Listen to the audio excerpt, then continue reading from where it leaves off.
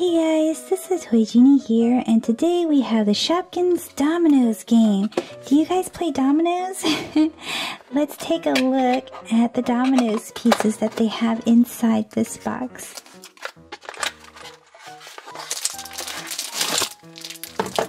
Super cool. These are season 3 characters. Oh my gosh, actually they're season 1, season 2, and season 3 characters. Super, super cool.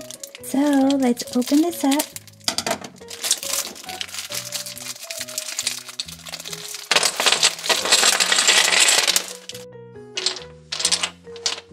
So here are all the pieces. And I will show you guys all the pieces first and then I'll talk a little bit about how to play. So this is Cheeky Chocolate and Toasty Pop. And then we have Cheeky Chocolate and Sneaky Sally. We have two sides of Sneaky Sally.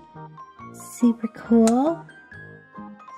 We have Suzie Sundae, Juicy Orange and Toasty Pop, Cheeky Chocolate and Juicy Orange, Taco Terrie and Toasty Pop,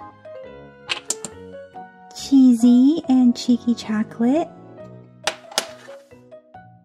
Sneaky Sally and Cheesy, Taco Terrie and Sneaky Sally, Taco Terrie and Cheeky Chocolate, Toasty Pop and Suzie Sundae, Taco Terrie and Taco Terrie. See this one, we have Sneaky Sally and Suzie Sundae, Sneaky Sally and Toasty Pop, Juicy Orange and Sneaky Sally. Cheesy on both sides. Cheesy and Suzie Sundae. Toasty Pop and Cheesy. Juicy Orange and Taco Terrie. Suzie Sundae and Cheeky Chocolate. Toasty Pop and Toasty Pop. Juicy Orange and Juicy Orange, Taco Terrie and Suzie Sundae, and Juicy Orange and Cheesy, and Cheeky Chocolate, Cheeky Chocolate, and Cheesy and Taco Terrie, and finally we have Juicy Orange and Suzie Sundae. So how you play the game is you turn all of the pieces over and then if there are two players, what you do is each player takes seven pieces and then the rest remain in the middle. If you have three to four players, then everybody takes five pieces and then the rest stays in the middle. So the youngest player goes first and that person gets to choose which piece that they want to place face up. And then based on what you have on your dominoes pieces, you would place one down. So in this case, I guess I should put it like this. In this case, I would put this down because I can match Suzie Sundae and Suzie Sundae together.